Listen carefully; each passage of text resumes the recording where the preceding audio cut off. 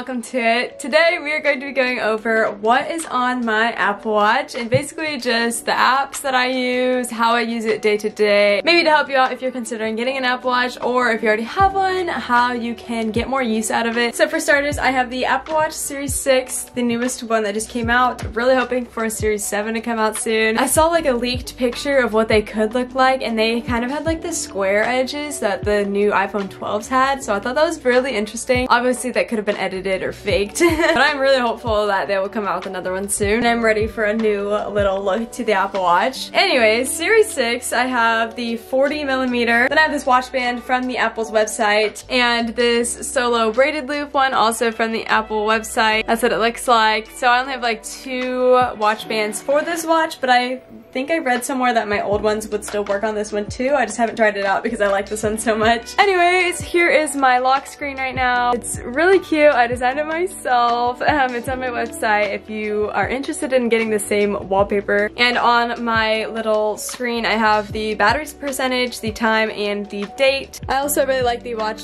face that is the numerals in these really cute colors. You can really change the colors of those to anything. And then just the modular one, but I created my own obviously because it's really cute. Anyways, I will just go over some of the reasons why I like my Apple Watch and just how I use it. First, I love using it just for notifications throughout the day if I ever don't have my phone on me and it's across the room or like let's say I'm in the middle of cleaning the house and my phone is in the kitchen but I am in the bathroom washing the toilet or something and somebody tries to call me, I can get the call and either answer it or go find my phone to answer it without missing the call because normally I would have completely missed the call if my phone rang and I didn't have the Apple Watch because I normally don't have my ringer on.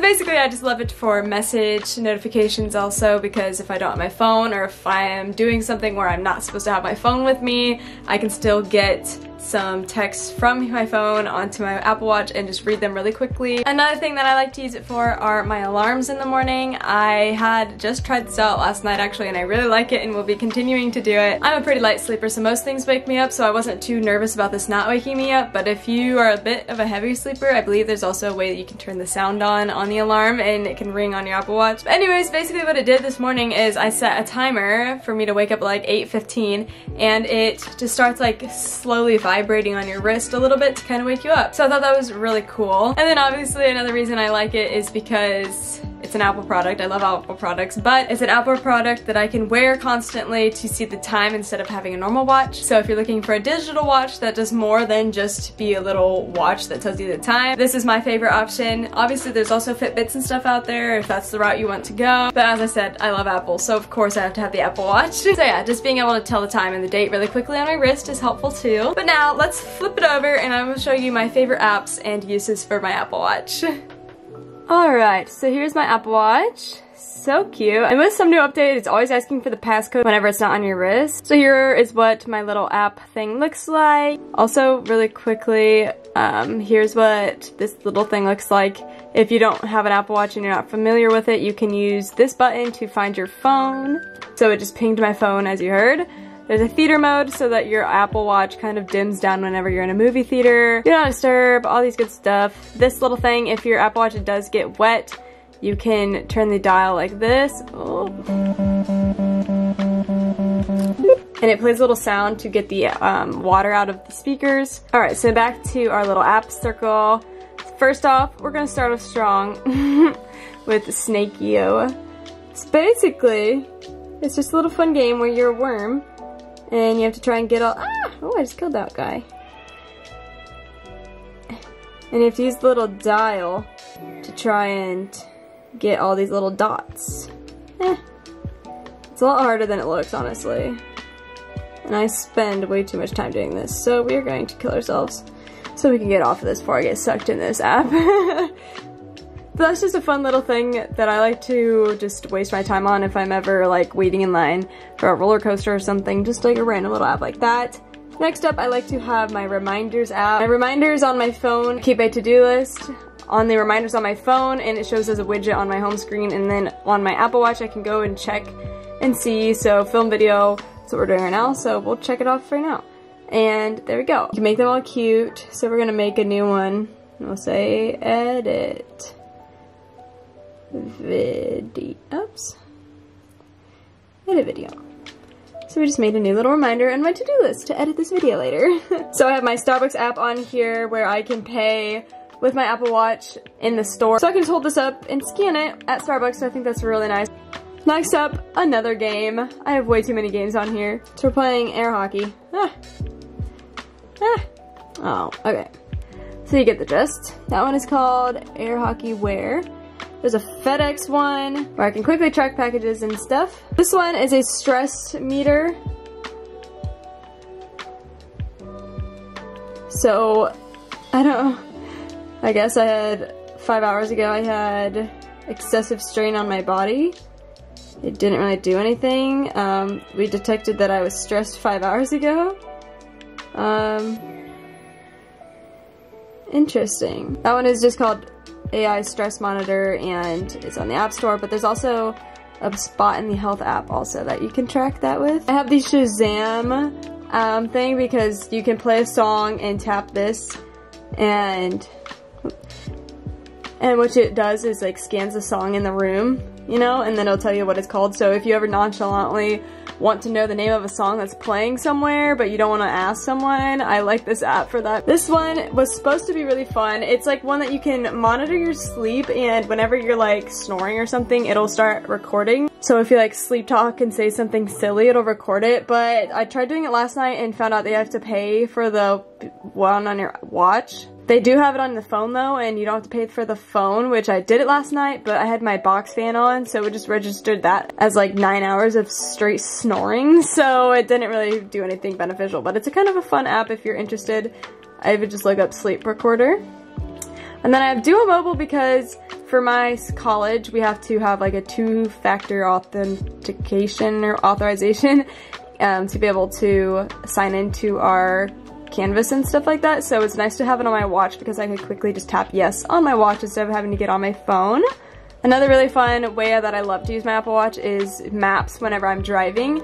So what it will do is just buzz your wrist whenever there's a turn or if she like wants to tell you that you have to go on an exit in 10 miles or something, it'll give you a quick little instructions on your Apple Watch, which is really nice sometimes so I don't have to look down at my phone. It's just all on my watch, so I obviously don't get distracted while I'm driving. Another one that I've been liking recently is sleep. So I set up on the health app in my phone and I can track my sleep data. So last night, it tracked that I fell asleep at 11.35 and woke up at 8.16, so I got 8 hours and 41 minutes of sleep.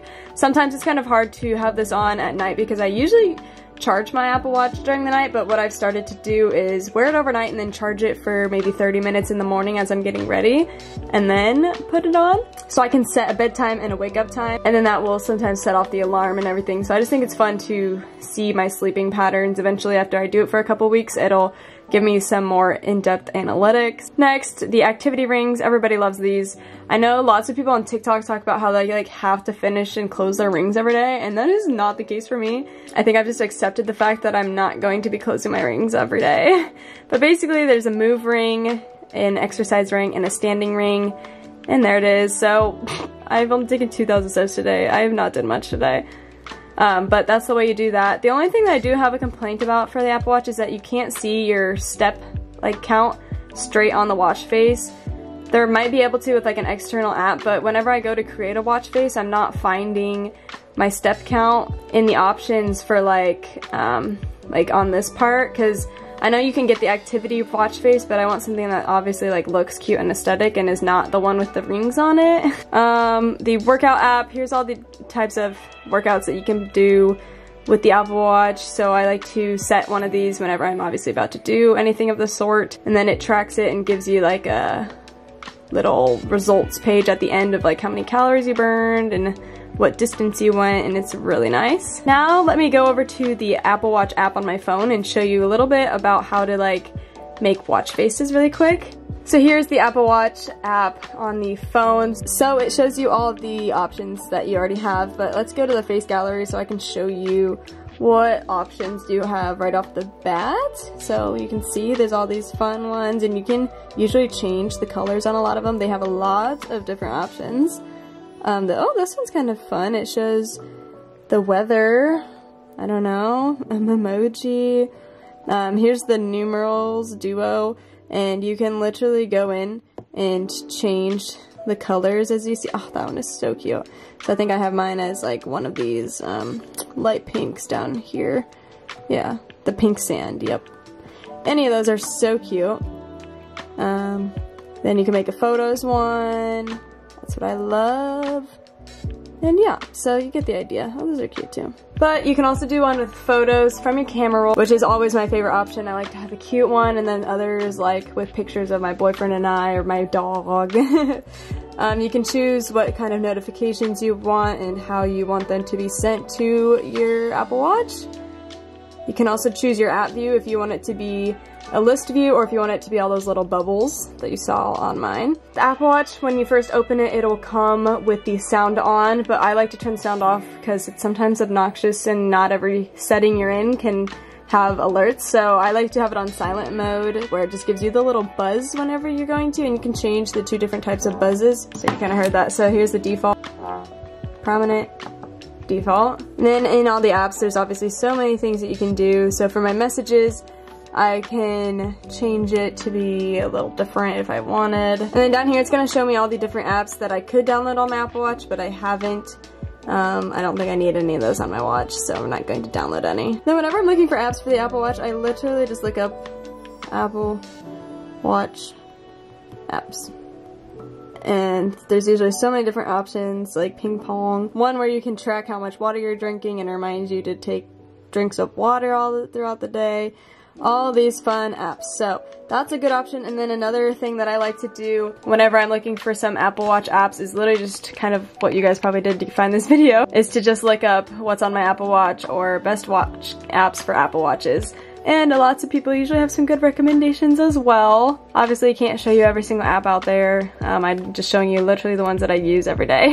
I also have the YouTube app on here, so it was fun. In the beginning days, it would alert me for like every subscriber that I had when I had the Apple Watch Series 3. But yeah, overall, I don't use my Apple Watch a lot, but I do use it for certain things. I'm definitely also trying to get into working out more, so I want to use it a lot more for workout, tracking all that, and just keeping myself motivated with this. But yeah, if you guys have any questions, please let me know below. I'm also going to probably go on Amazon and order some accessories for these and do like an Apple Watch accessories haul from Amazon so that you guys can see what products are out there for Apple Watches and review them and tell you what ones are worth it and which ones aren't. So make sure you subscribe and stick around for that video whenever it comes sometime this summer. But yeah, thank you guys so much for watching and I will see you in my next video.